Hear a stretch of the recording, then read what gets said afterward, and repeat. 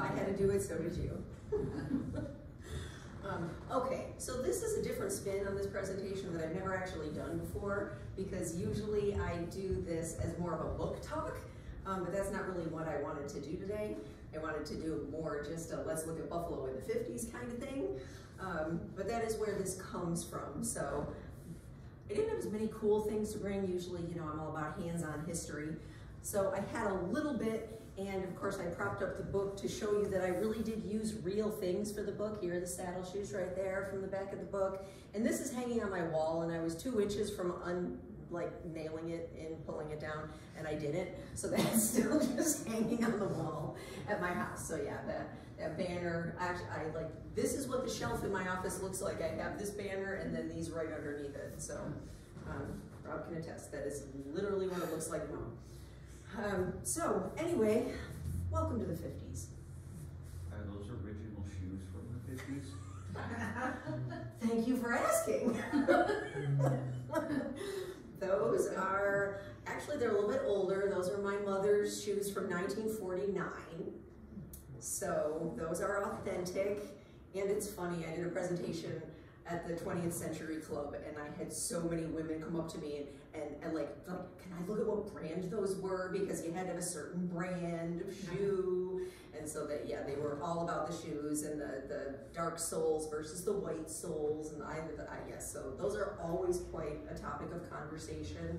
Um, mine are circa 1980 something. so those were my mother's. They do fit me and I do wear them occasionally, um, but they make a better prop than on my feet because I do have my own for my feet. Um, so these are circa cheerleading 1980 something. Um, okay, so where all this stemmed from was me writing this historical fiction novel that was released last year, year and a half, it all becomes a blur. Um, that really just stemmed from having three teenage daughters and coaching cheerleading and you know having been a teenage girl and all of the angst that comes out of being a teenage girl and watching all of them, specifically my cheerleaders, I feel like they were a little more dramatic than my daughters, mm-hmm. of, of how everything with relationships just seems like life and death you know, watching them when we would go into practice all the time about the boy that they liked and, you know, all the drama surrounding it. And I just always wanted to grab them and be like, it's going to be fine. You know, like you're gonna get your heart broken and you're gonna be okay. Like no matter what, you come out on the other side.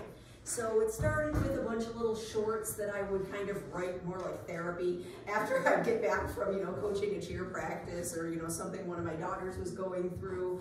Um, so I never intended to do this. If I ever sat down and thought I'm gonna write historical fiction, that never would have happened. Um, it just kind of happened along the way where I had all these little blurbs that somehow turned into a story.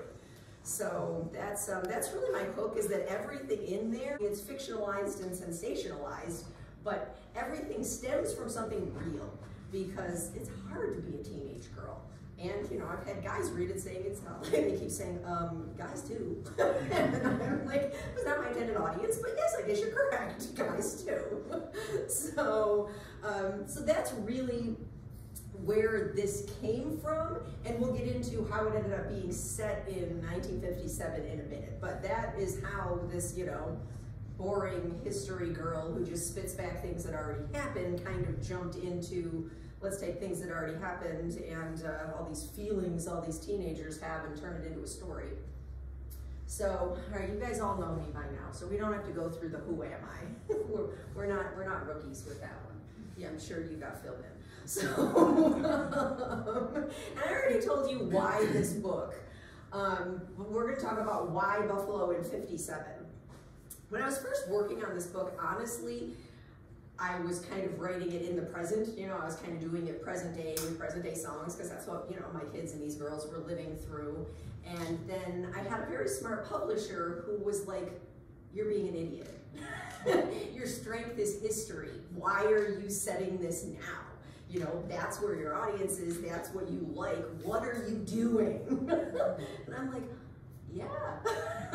so in the first iteration, I had it set in this fictional town in the 50s. And then, you know, another very wise editor said, what are you doing? Why isn't this in Western New York somewhere?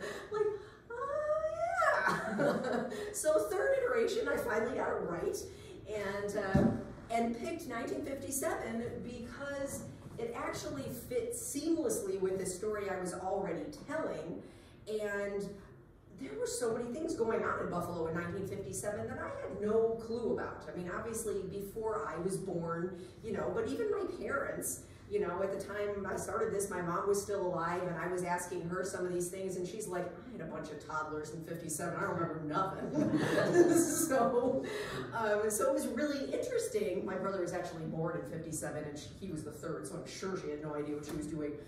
Um, but Buffalo in 1957 had what was called the 125th anniversary and World Port Celebration.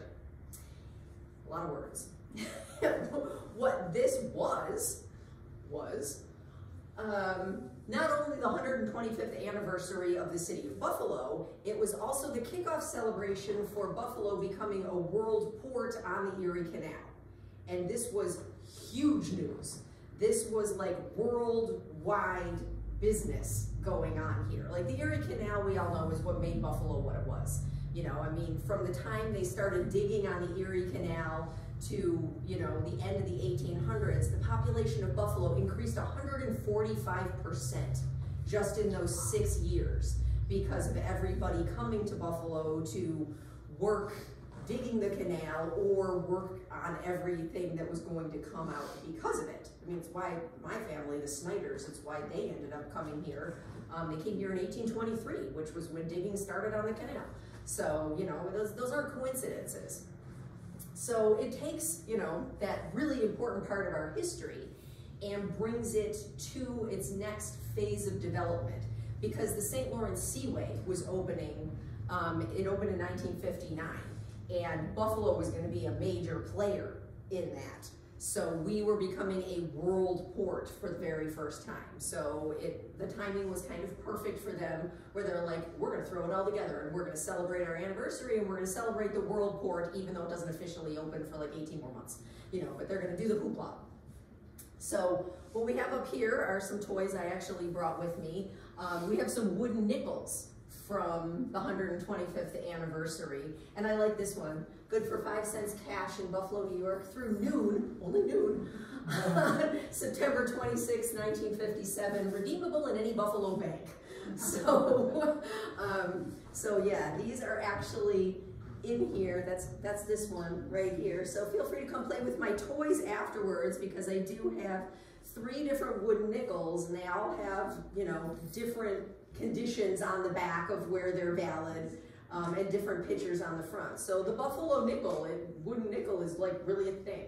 Um, and they use these as currency back during the World Port celebration. So, so those are actually here in person. Um, and I put on the logo for EC200, the Erie County Bicentennial, because I was actually working on the Bicentennial Commission when I was working on this book.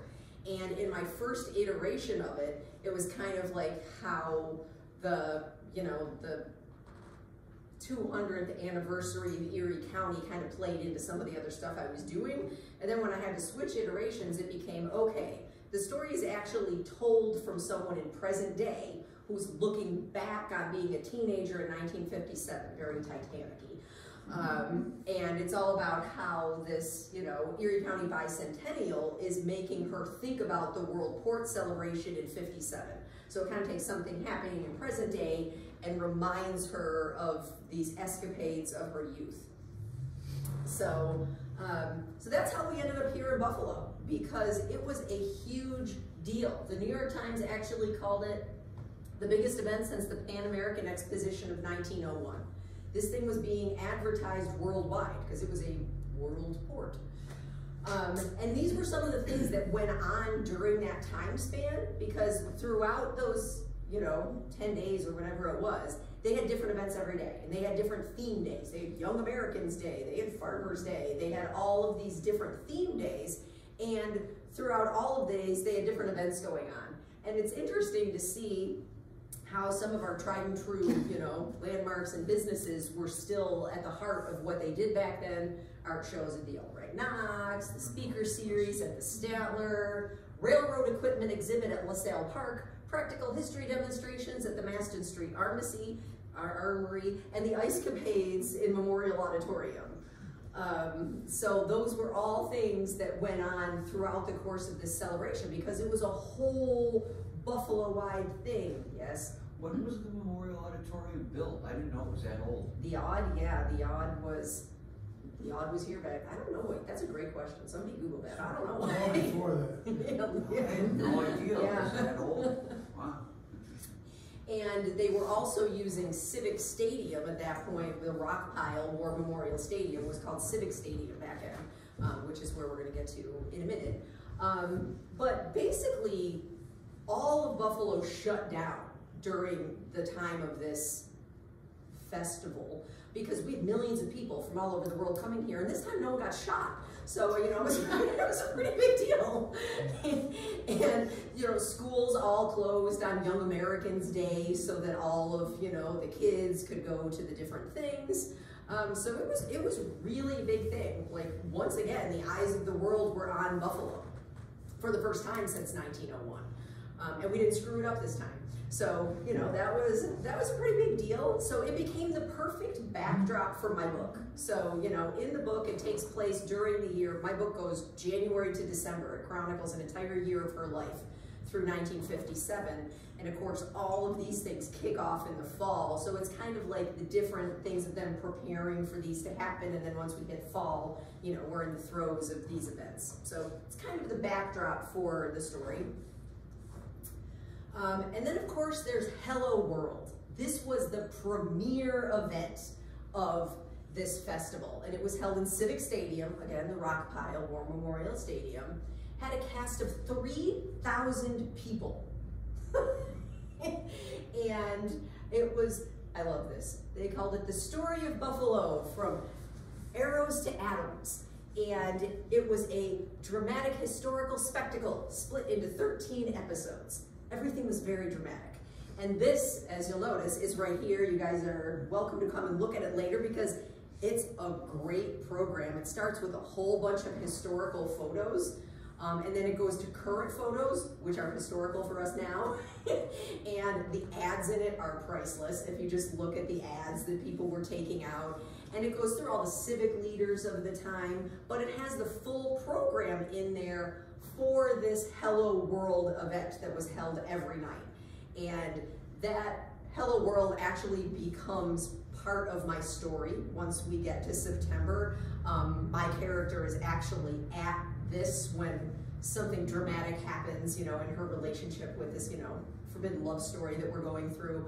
Um, it actually parallels events that are going on with her to each of the 13 episodes that are going on in Civic Stadium at the time, because you know, girls, it's all about you. So um, she's kind of living through each of these things, you know, the burning of Buffalo um, and all of the different episodes of history. So what this did, Hello World, was basically tell the story of Buffalo from the pioneers and Native Americans all the way through the 1950s, which, this is my favorite part, the atomic age. It really showed me how truly freaked out our nation was about the atomic age. And I, I actually ended up quoting it in the book because I liked it so much. Like throughout that chapter, she's hearing the narrator announce these different, you know, scenes from Hello World, which I took directly out of this program because all the language was in there. When they get to the atomic age, it's all about, you know, and here we stand at the birth of the atomic age.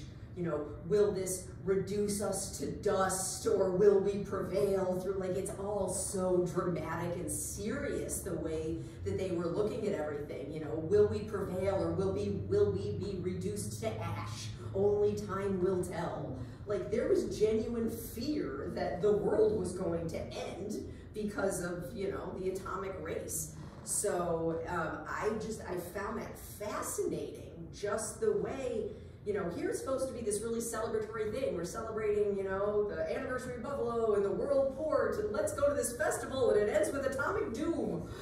Oh like, it, it, made no sense to me. As, you know, so so you know that that was the last piece that they looked at when they were describing the time that they were living in. It was called the atomic age, and it was all about fear. And I just thought that was such an interesting juxtaposition of we're at this festival and aren't we all terrified? and then of course it at the end goes into Hello World. It goes into looking at the world port. And so it's all about, you know, here we stand, arms outstretched, welcoming the world to our ports. And when they get here, we will step forth and say, hello world. so it, uh, it, it was really quite something to read through it um, because everything was very over dramatic.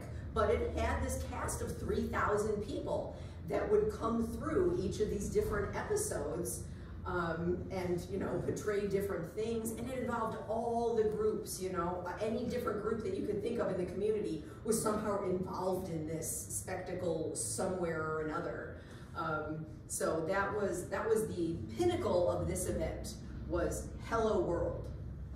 So I tried to capture as much of that in the story as I could without geeking out too much about it. so I don't know, I think I did a pretty good job of playing off what was going on with my character to, you know, her seeing her life through the eyes of, you know, this story. And then of course, it ends with the atomic age because this is when she sees her guy with a different girl. So that's, you know, her world is turning to ash. so anyway, teenage girls.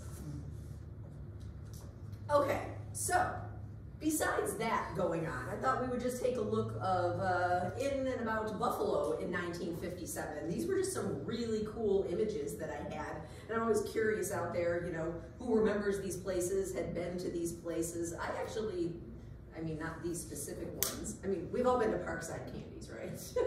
I would hope so. Um, that obviously is still there. The Loblaws and the Woolworths, those particular ones aren't there. I remember Loblaws and Woolworths when I was a kid, specifically the Woolworths in the Eastern Hills Mall. That's really the only one that I remember. And there was a Loblaws not far from my house. Um, so everybody out there, you went to all those places. there was a Loblaws on Jefferson, I think, near the stadium, um, where Memorial. We used to park our car there when we went to the Bills games, both the oh. Bills games. But then one one time it got stolen. That car got stolen. so um, yeah, ended up under the Grand Island Bridge somewhere with no wheels. Um, yeah. Wow. But, but that was um that was in the '60s. Okay. So it's my era is the '60s. But I remember um, Loblaws. I remember. Mm-hmm. yeah. And it was Loblaws and Park Parkside Candies were within walking distance. I I was born in '49 and Sisters. Oh, okay. I grew up there. So you were right in the heart of all of that. Mm-hmm. It's funny you mentioned the Grand Island Bridge because that's actually in my book too because that opened in 57. So many things happened in 57. Um, and so yeah, there's actually a blurb on the Grand Island Bridge opening in there too. I was just noticing on your picture too, like you're showing the um, the Skyway, mm -hmm. like in 1957. Like I didn't know it was that old, right? Like, yeah. You know, because it, it, was brand new. That's why they put it on there because they had just put in the Skyway and the Grand Island Bridge. It's like all of that, you know, we were all about transportation and, you know, and the goods coming in and getting them out in easy fashion. So, you know, all of the roads were coming in to increase traffic into the city because they expected, uh, you know, our new port to, you know, little did they know that the railways were going to tank us in a little bit. but, but yeah, that was why they were increasing all of the traffic. I never really thought about studying that picture. You're one up on me. Um, okay, so I, I liked those three pictures. This one, the Woolworths is actually University Plaza. That's where that one is. Was. all three of them were with. Yeah. yeah. same photographer, same day. and then of course we have Duff's on Sheridan and the Glen Campbell Chevrolet on Transit. that bring it back for anybody? Duff still looks exactly the same. know. Like swap out that car and, you know, and it was today. Yeah. so, wonder if that's historically designated. Should be. but I loved like I loved the the convertible in the showroom right there. So that's a pretty awesome picture. Um, so yes, just life out and about in the fifties. And then of course Bennett High School, because in the book, there are my shoes again. Well, my mom's shoes again. Um, my character goes to Bennett High School because in the 50s, Bennett was the place to be. That was where people who lived outside of the Bennett district would pay tuition to go to Bennett because of everything that it offered. Because they had, well, on the student side, the students loved it as I was doing my research because they were the first high school to sponsor rock and roll dances. they, they, they would actually sponsor them off campus. Like they would rent venues and they would get musicians and they would sponsor rock and roll dances for the students. And they were the first place around here to embrace rock and roll. So the students obviously wanted to go to Bennett for that. Plus they offered um, German and um, Portuguese and all sorts of languages. So the joke was that if students wanted to go to Bennett, all they had to do was go in and say, I want to learn French, I want to learn German, some language that their school didn't have, and Bennett wouldn't turn them away because they weren't going to turn away a kid, you know, that wanted, you know, more of an opportunity. Um, so that, that there was a joke on all these things to say to get into Bennett, and then the parents just, you know, had to pay to put them in there. They had quite a nice, uh, athletic field behind there. I'm getting there. That's part of the story. Never mind. It out of your mind, so, um, the only sad thing I found as I was researching Bennett High School was that Bennett, who sponsored the high school, actually died before it opened. He was here for the groundbreaking. He donated all of the money, did the plans, everything, came back for the groundbreaking, and then died in his 40s before it even opened from something that I don't remember. Um, so he, uh, he never got to see his dream become a reality, um, but it really was the place to be. So in my story, that's where Josie Johnson, my, my girl who tells the story, that's where she goes, and that's where um, her star-crossed love, Jack, also ends up going to school because Jack in the story is um, a rich boy and she's, you know, a girl, she's lost her dad and, you know, they don't have a lot of money. Her mom's a hairdresser and her mom is a hairdresser for the Elite Country Club set, which is where Jack is from. And, um, you know, they can't be together because they know that her mom will get blackballed if, you know, she ticks off, you know, the country club set and then her family loses their income. So she ends up, you know, desperately trying to stay away from this boy and, you know, they try to, they, they, they don't end up together. I tell you that on page one. They don't, they don't end up together because it's not about the ending, it's about the journey. And that was the message I wanted to give these teenage girls. It's like, you don't always get the ending that you hope for, but you learn a lot along the way and you take it with you and you come out better for it. So I tell everybody on page one, they don't end up together. Because that's the lesson you need to know. Off the soapbox, back to Bennett. So, so Jack ends up going to Bennett because he's a local football star and his parents want the best for him. So he's been going to Catholic schools all along because they are very Catholic and she is not, she's Protestant, so they don't like her for that either. And um, they want him to have the best of everything. And at that time, the best athletic facilities were at All High Stadium at Bennett. So they actually become super big hypocrites because they were, you know, Catholic, Catholic, Catholic education, but they won't send him to Canisius because they don't have a premier athletic facility, so they send him to Bennett. Um, so All High Stadium is actually a little bit famous in and of itself. I threw this in here. I like it says Wrigley Field, played by All High Stadium, because it was used in the film The Natural to be Wrigley Field.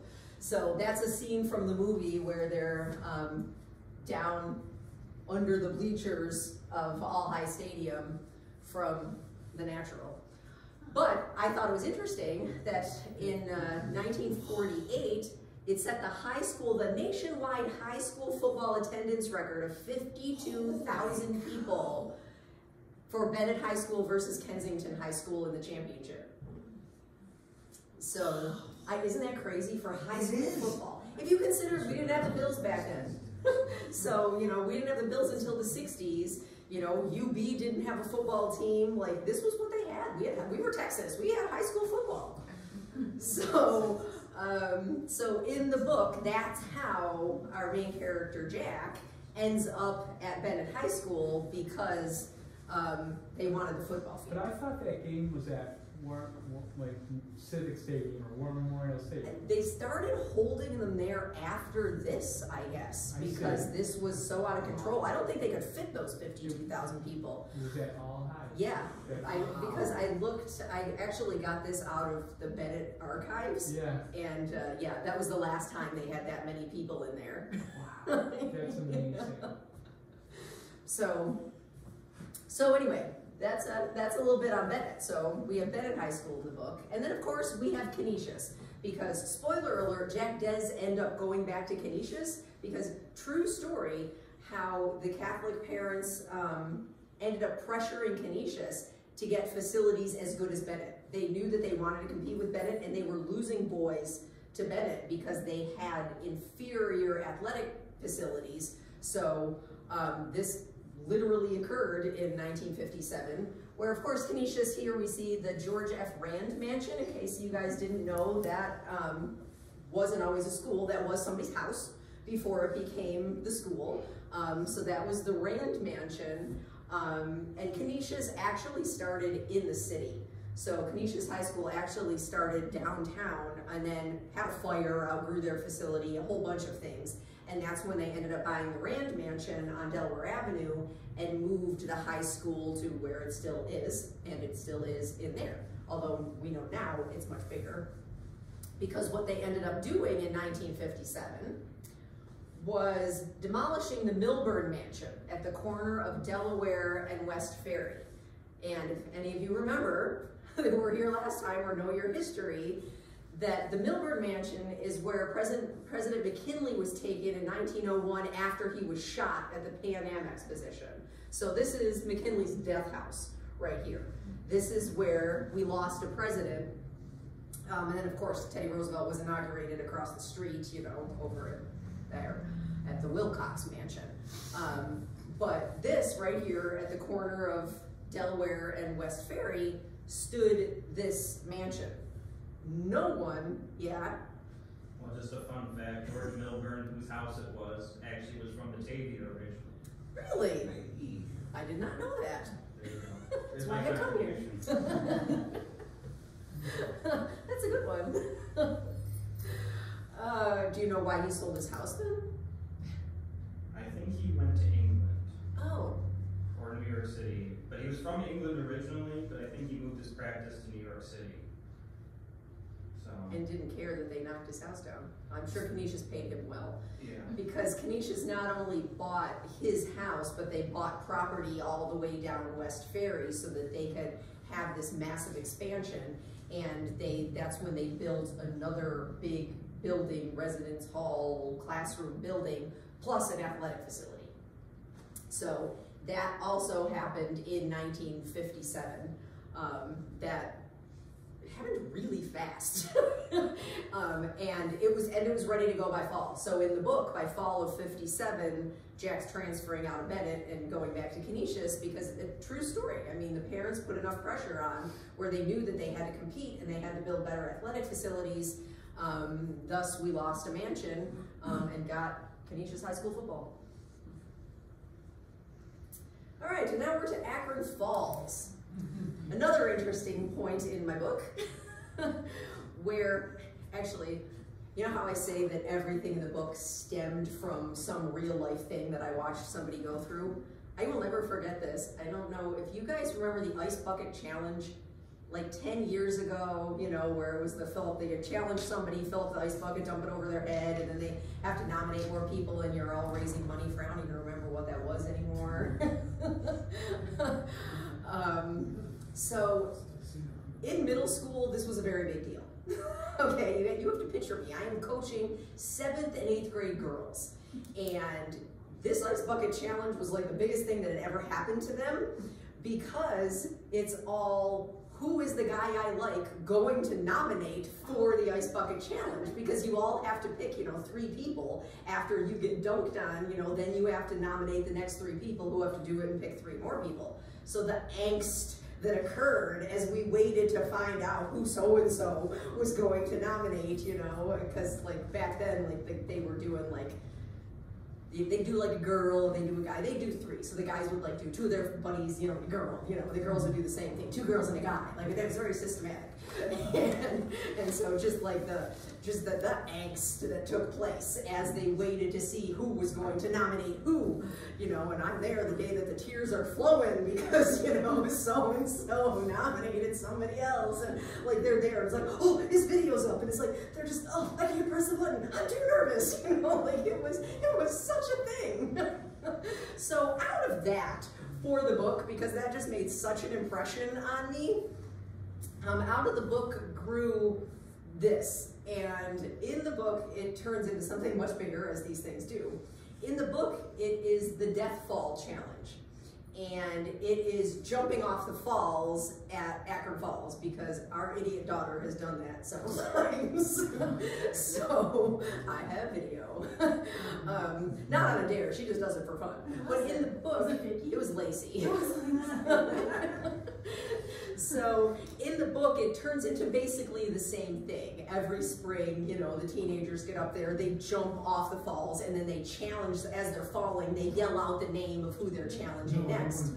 And, uh, you know, so all the girls are, you know, like everybody's waiting to see. So anyway, Was the middle- Bucket Challenge Was turns it into middle school, Akron School, they, What? was it Akron School where the, you had the middle school? No, I was in Amherst.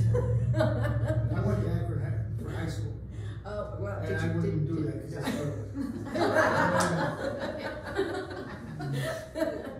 that's. so anyway, so the reason that in the book I end up talking about Akron Falls back then is because of the ice bucket challenge, and so you know I turned a ice bucket of water to jumping off a waterfall um, and accomplishing the same amount of angst. Because you know she's waiting to see if Jack calls her name as he jumps off the waterfall. Um, but the reason it tied in perfectly to my story of these star-crossed lovers is because of the legend of Murder Creek. So do any of you guys know the legend? Yeah. I remember, but So the reason it's called Murder Creek, interesting, if you actually like are down here and take a picture down there, you know how you know your phone always gives you the location, your phone will actually say Murder Creek, which I thought was really cool. Um, so the legend is that way, way back when, there was a Native Indian girl and a white officer who became obsessed with her in the land in and around Akron Falls. And he proposed marriage and she declined because she was in love and betrothed to someone else in her tribe. So he, he proposes, she says no, and he warns her that if she doesn't marry him, he's going to kill all of her family and her. Romantic. Mm-hmm. So she declines, and when she's away from the village one day, he actually goes in and murders her family. She comes back, finds her family murdered. She takes off and hides in a cave in the falls. And a pioneer family finds her um, and starts like helping her and giving her food and you know trying a white pioneer family starts trying to help take care of her as she's hiding in this cave. Meanwhile, her fiance, Grey Wolf, comes looking for her because she's run away from the village. So he comes to try to find her, rescue her, you know, whatever comes next. Unfortunately, Grey Wolf tracks her down here the same time that the white officer tracks her down here. So Grey Wolf goes to defend, you know, the love of his life.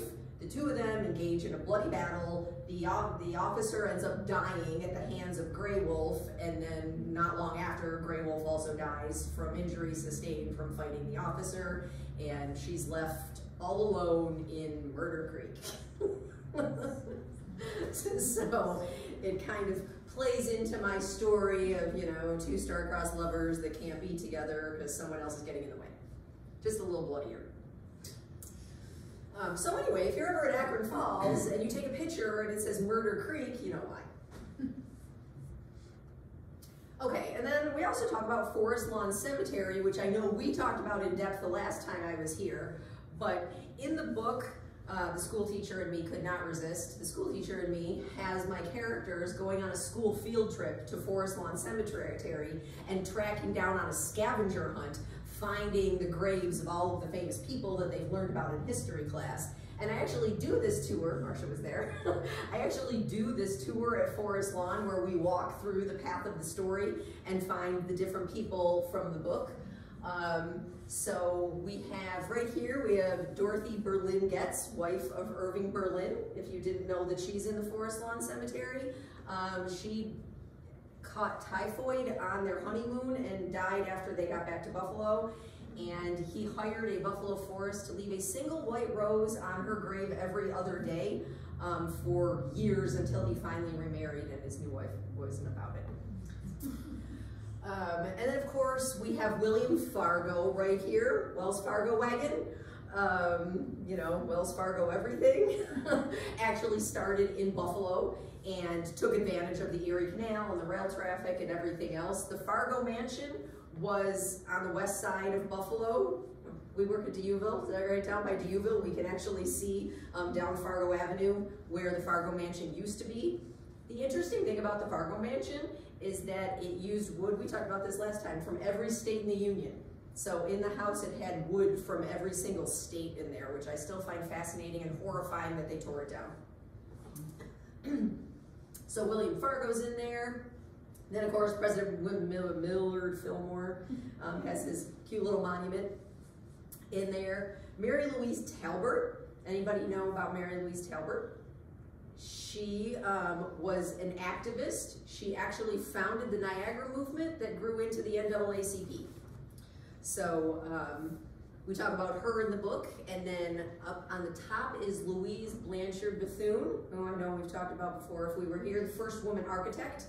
Um, she came out of Buffalo, designed the Hotel Lafayette, and a whole bunch of schools and a lot of other things. And the thing that kills me the most about her grave in Forest Lawn is that she doesn't have one. She's buried on, like, with her husband somewhere. This architect who built these amazing things all around Buffalo doesn't even have a decent stone in the cemetery. She's got a historical marker. Because they just buried her on the plot of a relative. I'm like, that is so wrong and ironic. And then, of course, in the middle, we have Red Jacket, the Seneca Indian chief, um, who was commended, won the Medal of something from George Washington. it's been a long day already. um, so we talk about a little scavenger hunt through Forest Lawn in the book. So it's always, you know me, I'm always going to talk about Forest Lawn. And of course, the Blocher Memorial that we talked about last time. So we're not going to tell the story again. Um, if you don't know it, you're going to have to read the book and look it up. But this does play perfectly if you remember the story about the star-crossed lovers and you know how he ends up dying um, because the parents keep them apart. Literally my story. so she ends up at the Blocher Memorial with Jack and then kind of have that realization of, oh, oh this is us. so it, it, plays very well um, into the book. And I just love it there, so you know I had to talk about it. All right, so then let's talk about pop culture of the 50s. This is my favorite part, besides the cemetery. I wore the dice earrings, by the way. you should have worn yours. I gave Marcia dice earrings. Okay, so Elvis. Do you know that Elvis was in Buffalo in 1957? I'm telling you, perfect storm of events for why my head book had to be in 1957. April 1st, 1957, Elvis plays Memorial Auditorium. And it becomes a really big part of the book. This song becomes like kind of a soundtrack for Josie and Jack as they go through. I mean, it, follows it from January through December. And they're at this Elvis concert together, so we get a lot of, you know, living as if you were actually there at the Elvis concert but this was what I was dying to talk about because I've never actually done this part before. I did a lot of research on um, news articles from that day and just reactions of the reporters and the crowds and what we look at Elvis now from, you know, our perspective of looking back at Elvis. I was so interested in the perspective of Elvis at the time, you know, because they thought he was a bit of a freak. And, um, and I found this really interesting. So this was a Buffalo News article. I just love the title. Elvis sings, swings, leaves thousands of teens hoarse. like, great title. um, so anyway, if you look through that, I mean, you see the typical words when you think of Elvis, you know, gyrating. Um, but, and, and ear-splitting screams and a fervor of arm waving. so um, this is how the news article began as this reporter was talking about the Elvis concert. And I was reading about how, how early they opened the doors, you know, for this concert and how loud the screaming was outside of the Aud just as everybody was coming in. And then they had to sit through all the opening acts. And this reporter was really impressed at how polite everyone was as they sat through the tap dancers and the, you know, it wasn't even other bands. Like it was like vaudeville stuff that was opening up for him.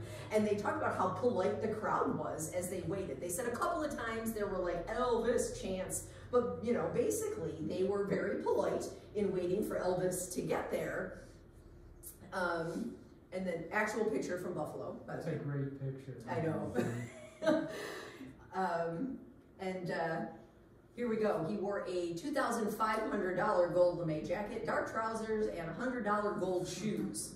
So that was also in the news article. So I think these pictures, you know, give us give us a good look at his outfit. The thing that kills me about this one is that nobody really looks that excited behind him.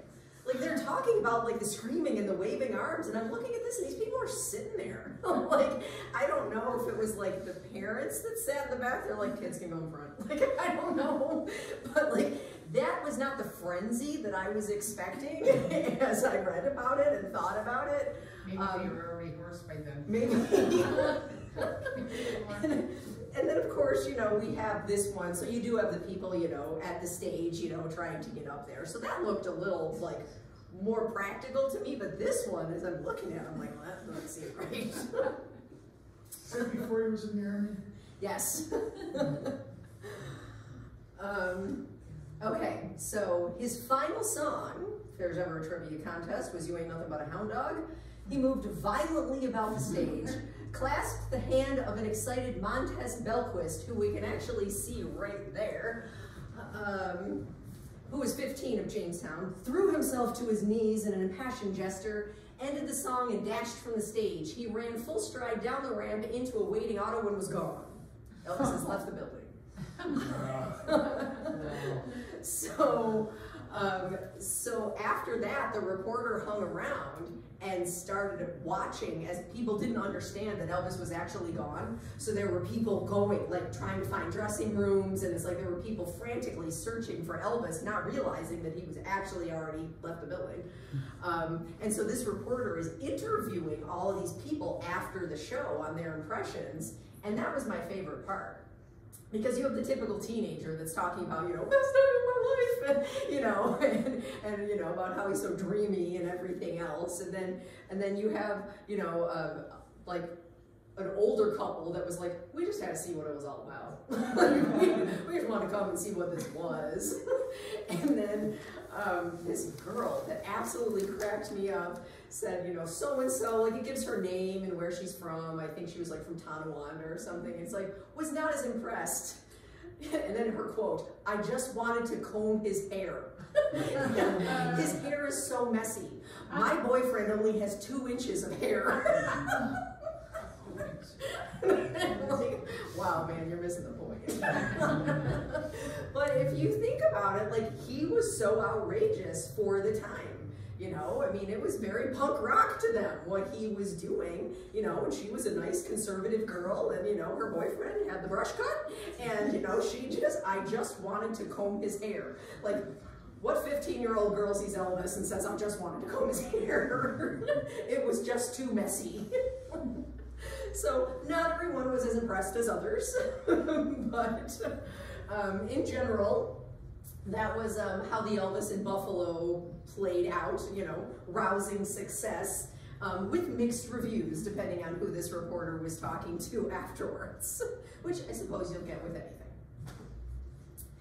I was doing one of these presentations one time, and uh, and there was someone there who was of the age to have been a teenager, and they're like, I remember that.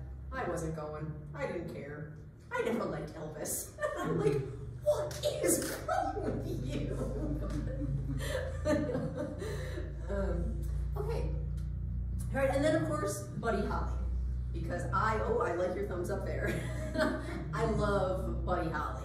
And there's there's a part of the book where they talk about how, you know, Josie likes Elvis, but she's a Buddy Holly girl. You know, that was me. Like, that is literally, parts of this book are me, and that is me. Like, I was the kid in the 70s and 80s with a Buddy Holly picture on my wall.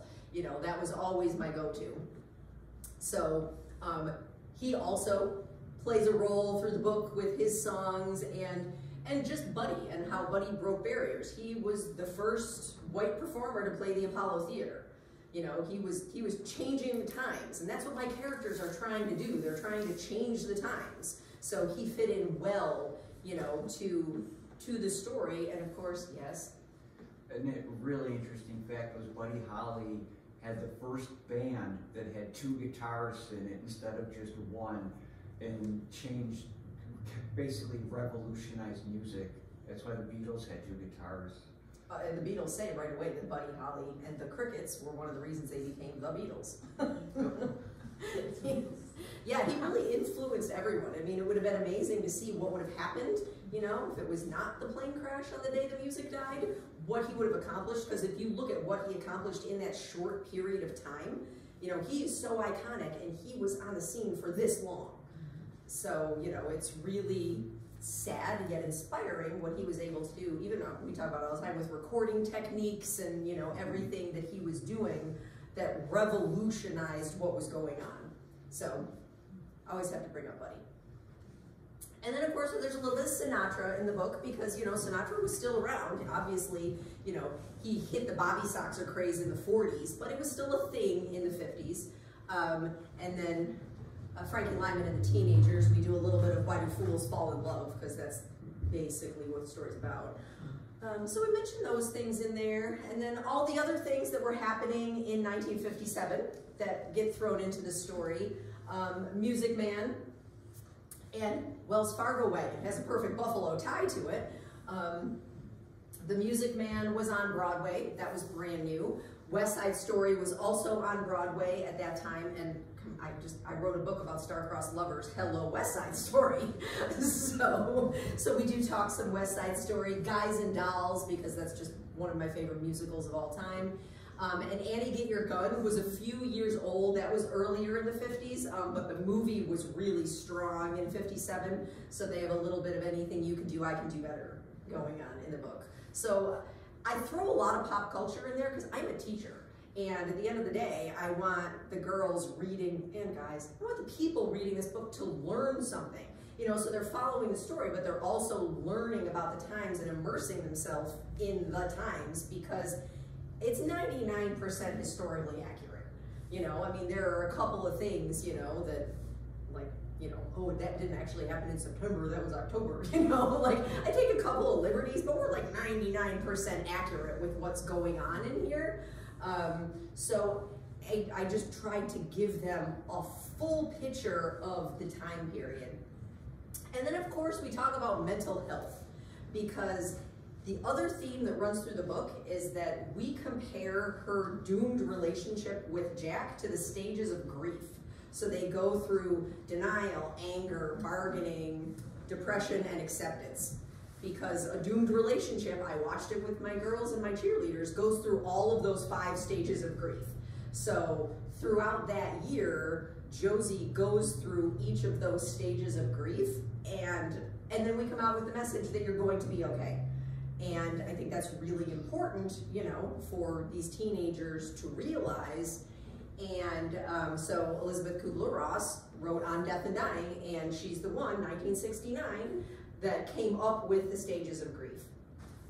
And I also, here's my creative liberty, this is what is not accurate. Um, I, right there, teenage me, volunteered at Camp Good Days and Special Times. Because like the character in my book, I lost my dad to cancer as a teenager. So as soon as I was old enough, I started volunteering at Camp Good Days and Special Times with the kids with cancer or kids who had lost a parent to cancer. So I put that into my character where she worked at a really similar facility and that didn't exist in the 50s. It existed by the time, you know, I needed it in the 90s and 80s. Um, so it, it, ties in a little that mental health. That's where I'm not historically accurate. I'm a couple decades ahead of myself, um, putting her in that situation because that was literally me. Um, but it does play well throughout the group and, and, and the book because she works with this group of kids throughout the story and sees grief through different angles and is able to apply that to you know her doomed relationship. So there's a lot of mental health going on because as I said, I wrote this for those you know those girls that I saw struggling. I think I still look like that, right? I still. um, so What's ironic, I keep telling this whole time about how, you know, I really wrote this as young adult fiction, that was our target audience, and it's really done much better with the uh, senior citizen set because it's written from the perspective of, you know, 86 year old Josie remembering what this was like in the 50s. And I'm thinking that the young girls are going to connect with 16 year old Josie, and it's really been the senior citizens that are like, my glory days. I remember that. and so it's really been much more popular um, with, and I, I shouldn't even say senior citizens, I mean just really adult women have enjoyed the looking back and the remembering feeling like that and going through all those things, you know, that seemed so important at the time. Um, so anyway, mental health, very big thing for me.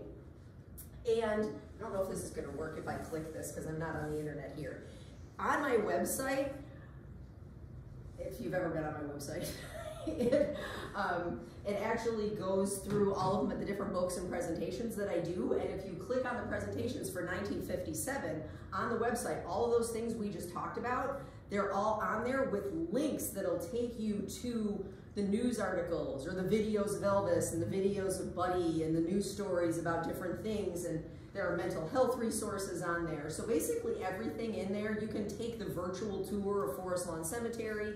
You can find the real life resources for all of the things that we just talked about on the website so you can actually go in and experience them for yourself in real time. And if you're a book club person, it also has a page of talking points um, that are good for book clubs or schools that use it like as an optional reading exercise there are prompts that schools can use um, for different questions to talk about different things all the way from history to stages of grief. So anyway, um, check me out. I did it, it's 8 o'clock.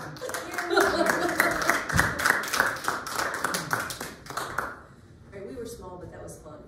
That was fun. Yeah. You were taking notes, man. What was that about? I know, I like that. It's like, I, it, it helps me remember things. Like two slides back, like you had that. There was Irving Berlin was in the, the yeah. Ethel Merman thing. Yeah. Isn't that? I, yeah, I know. I try. It's like he was like yeah he Yep. it was his music I I saw three of those real time. Oh, My you- mother used to take us once a month to the theater. That's amazing. That's how you go good first. Just a couple of times. I'm the seventh of nine kids.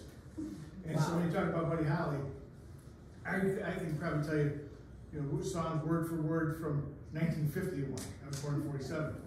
Because my brother, older brothers and sisters Right. played music all the time. And then the other thing is my parents moved from Forest Avenue out to Tonawanda. When Tonawanda was very rural. And my brother started a paper route, the oldest brother, and he had three papers. And it grew to two hundred and sixty some. And the Wow. four brothers ran it. I only had for, I started when I was seven, and I had seven or eight papers, but, and as they got older and got off the paper route, the smaller got, but it was the largest paper route ever Wow. before or after that, for the Buffalo News. That's really cool. Yeah. That's a lot of work.